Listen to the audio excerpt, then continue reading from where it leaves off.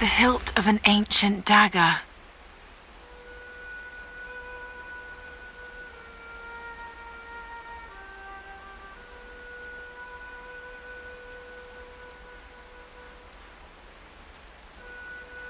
Blade's gone, but it's a femur of some sort. Almost certainly human. Perhaps it's some sort of ritual object.